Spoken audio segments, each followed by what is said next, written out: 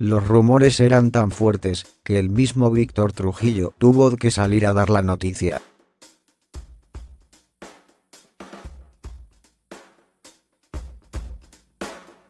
Brozo, el payaso tenebroso, decidió realizar una transmisión en vivo para hacer un importante anuncio a todos sus seguidores y de una vez por todas aclarar los rumores que lo venían persiguiendo desde hace un tiempo.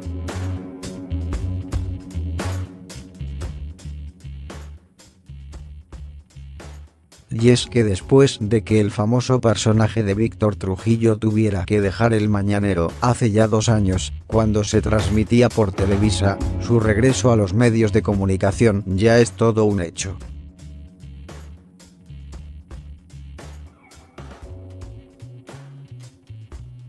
Se ha estado diciendo por las redes sociales y por los medios que posiblemente, o que seguramente, regresaré a los medios de comunicación en un nuevo informativo. Eso es lo que se cuchichea. Bueno quiero confirmarles que a partir del 15 de enero Brozo regresará a los medios. Esto es televisión, radio, Facebook Live, streaming, YouTube, todos los medios que hayan al alcance con una conexión, confesó de manera tajante.